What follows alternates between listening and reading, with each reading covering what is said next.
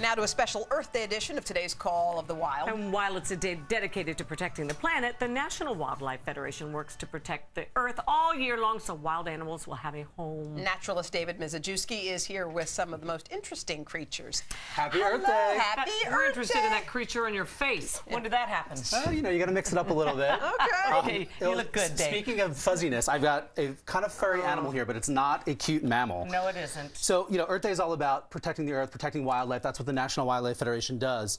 Not every animal, though, is cute and cuddly. We've No. got some that are maybe nasty. a little bit scary looking. But the point here, this is a Goliath tarantula. It's one of the biggest species of spiders on the planet. And just because something maybe is ugly or scary doesn't mean it, it doesn't need our help. Is it poisonous? It Like- is venomous. It's got one inch fangs. Then and why it- are you holding it with well, no? be- because it's it's calm. We're you know it's used to being handled by people, so I can do this safely. Um, I obviously wouldn't recommend you handle any wild animals if you don't have training, and that's a, a big message here. So so anyway, I just wanted to share this guy because even though he's not cute, he is important in the environment. What does he do that is necessary? Um, he's Yes. a huge predator of all sorts of insects and other animals. Let's see if I can get him off my hand here now. Yeah, let's. Let's bring on our other our next animal here, who's adorable. I think you're gonna like him a lot better. Oh, baby bear, baby boo boo. He's quite This is a baby black bear, and we're gonna try to Feed him? feed him a little bit here. Let's see. Let's see. Oh, you're pitting Yeah, his eye. whoops. His eye. Hello. Let's see. He's in the, totally not interested in, in the bottle here. Anyway, this is a black bear cub.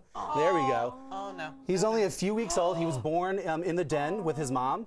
The, this is a fairly common species, but bears around the world are declining. What happened to his mama? Um, you know, his, his mom lives in captivity, and we're able to use him when he's a cub to teach people about wildlife and Oh, okay. you know get people engaged in protecting wildlife. Again, that's what the National Wildlife Federation is all about. So he knows that ain't mama. Yeah, he knows the name of it, and you know he's actually he's got a full tummy. So, but um, but uh, amazing animal. This is actually an animal found all over North America. Yes. Yeah. But but again, they're not. They. These are not pets. Yeah. These are wild animals. This guy can only be handled like this because um, you know we work with them, and I have the training to do it. So Okay. yeah, all right, let's go on to our sounds weird. said that. yeah, let's go on to our next animal here.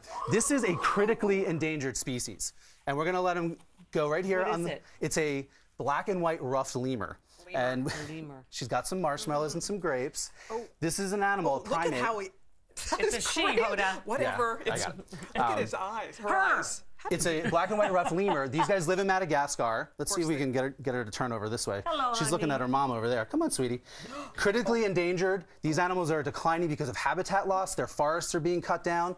You can adopt a lemur with the National Wildlife Federation, which is a kind of neat way of getting involved in protecting animals on Earth Day. But they can't come home with you. They can't You come just- home with you. It's a symbolic adoption, but when you donate money to support this, the adoption, it goes to help wildlife Oh in- uh, all around that the is world. crazy watching Beautiful animal, eat. related. Is she going, okay to have sugar like that? There's a Yeah, lot it's of it's in it's, those. it's just for her TV appearance. So we want to keep her Okay. happy for the cameras, right? No. Okay. Okay, what does she eat normally? Um, normally they they eat fruit, they eat leaves, um, and they're they're completely vegetarian. They live up in the trees. They've got Okay, this beautiful this is long tail. great. Really It's cute. great. Yeah. Oh, Little lemur. All right, we got a She's couple more. crazy eyes. We got a couple oh, more animals. She's got crazy eyes.